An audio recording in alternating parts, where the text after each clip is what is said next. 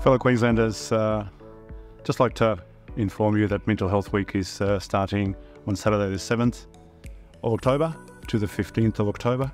It's an important time for the Queensland community to think about their mental health. This year's theme is about awareness, belonging, and connecting. Awareness is really about making sure that we pay attention to our mental health as equally, if not more, than we do to our physical health. Let's be aware of the importance of maintaining good mental health. The second part is about connecting and belonging.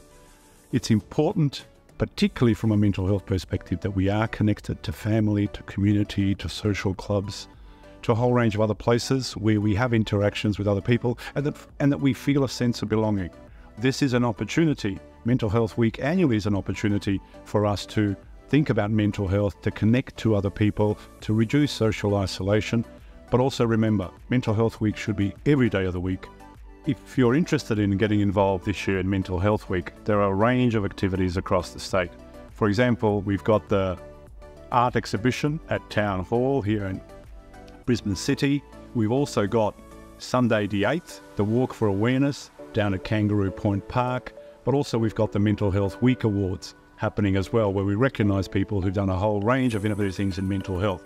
But they're not the only events. There's well over 150, 200 events, even more across Queensland where you can get involved.